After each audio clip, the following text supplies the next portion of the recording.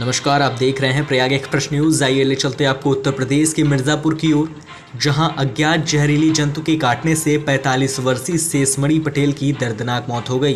परिजनों का रो रो कर बुरा हाल हो रहा है।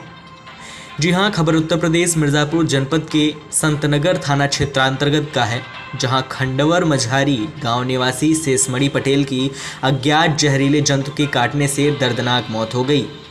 परिजनों का रो रो कर बुरा हाल हो रहा है। परिजनों की जानकारी के मुताबिक बता दें कि 10 सितंबर 2024 की शाम के समय घर से दूर अपने पशुओं की देखरेख करके घर पर आ रहे थे।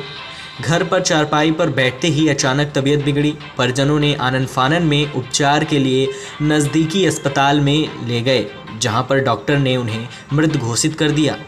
प्रयाग एक्सप्रेस न्यूज़ के लिए अभिमन्यु कुमार सिंह पटेल की खास रिपोर्ट।